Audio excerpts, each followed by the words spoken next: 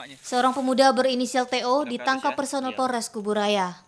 TO ditangkap karena kedapatan sedang membuang mayat bayi di ya? semak-semak Iya. kawasan Jalan Angkasa Pura, Kecamatan Sungai Raya pada Minggu dini hari.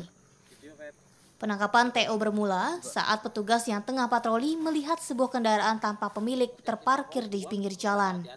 Petugas pun melakukan pemeriksaan dan menemukan pemuda inisial TO tengah membuang mayat bayinya yang dibungkus dalam kain dan dimasukkan ke sebuah kotak. TO pun mengaku bayi tersebut hasil dari hubungan di luar nikah bersama pasangannya yang mirisnya masih di bawah umur.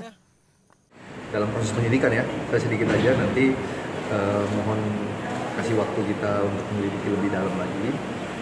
Ditemukan orang sedang membawa eh, kendaraan bermotor dan seperti biasa tim Spartan melakukan interogasi karena dicurigai jam malam yang seharusnya tidak ada orang aktivitas di situ ya kan ditanya aktivitasnya apa apa kegiatannya Nah, dari keterangan-keterangan dan mohon maaf saya tidak bisa menyampaikan secara rinci, akhirnya eh, anggota menjadi curiga dan mengecek semua kelengkapannya. Akhirnya ternyata yang bersangkutan itu atas nama G ternyata berniat untuk menguburkan bayi yang sudah meninggal.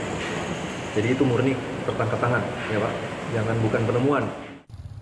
Saat ini TO masih diperiksa di Mapolres Kuburaya untuk dicari motif pasti pembuangan bayi itu. Ini jadi kasus pembuangan bayi ketiga yang ditemukan di Kabupaten Kuburaya sepanjang 2022. Samsul Ardi, Kompas TV, Kuburaya, Kalimantan Barat.